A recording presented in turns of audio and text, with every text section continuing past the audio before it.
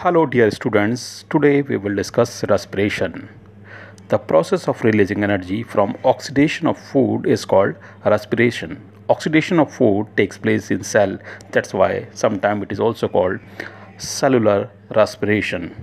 It is of two type, aerobic and anaerobic. Let us start from aerobic. The respiration which needs oxygen or occurs in the presence of oxygen is called aerobic respiration. During this type of respiration, glucose is broken down into carbon dioxide and water with the release of considerable amount of energy. The energy is stored in the form of ATP. It consists of two steps, glycolysis. The conversion of glucose into pyruvate or pyruvic acid is called glycolysis. It occurs in cytoplasm. Krebs cycle it is the process of converting pyruvate into carbon dioxide and water along with the release of considerable amount of energy. It occurs in the mitochondria. One molecule of glucose liberates 38 ATP of energy during aerobic respiration.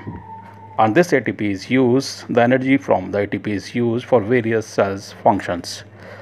Anaerobic respiration, the respiration which takes place in the absence of oxygen is called anaerobic respiration. During this respiration, glucose is broken down into ethyl alcohol and carbon dioxide with the release of very small amount of energy. In anaerobic respiration, one molecule of glucose produces only 2 ATP of energy. This type of respiration occurs in microscopic organisms like yeast, bacteria, etc. Pyruvic acid convert into ethyl alcohol and carbon dioxide in human beings, the energy is obtained by aerobic respiration, but sometimes anaerobic respiration occurs in muscles during vigorous exercise when excess oxygen gets consumed faster than its supply by the blood. During the anaerobic respiration in the muscle, the glucose is converted into lactic acid with the release of 2 ATP of energy. So now let us discuss the mechanism of breathing. The human respiratory system begins from the nose cavities called nostrils. The air from cavity enters into the pharynx and then into the trachea or windpipe. The trachea runs down the neck and divides into two tubes called bronchi. Each bronchi is connected to a, to a lung. In the lungs, each bronchi divides into a large number of thin tubes called bronchioles. The bronchioles have a tiny air sac at their end called alveoli. It is in the alveoli where exchange of gases takes place. When we breathe in air, the diaphragm contracts and flattens, which result in the increase in volume of chest cavity. Due to this expansion of chest cavity, the air pressure in the lungs decreases. Thus, the air from outside rushes into the lungs through nostrils, trachea, and bronchi.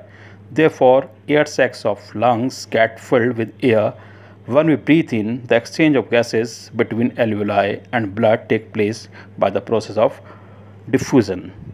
Oxygen from alveoli reaches blood and CO2 from blood diffuse into alveoli. Now, the air present in the air sacs of the lungs is rich in carbon dioxide.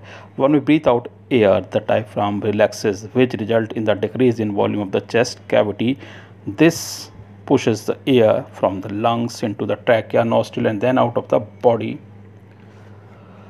Breathing in air is called inhalation or inspiration, and breathing out of the air is called exhalation or expiration. Mechanism of gases exchange during respiration the oxygen is carried by blood to all parts of the body. Actually, hemoglobin of the red blood cells binds oxygen and takes to the different parts. As the blood passes through the tissues of the body, the oxygen from the blood diffuses into the cell, whereas the carbon dioxide, which is produced during respiration, diffuses into the blood and is carried to the lungs. And in the lungs, breathing in and breathing out takes place.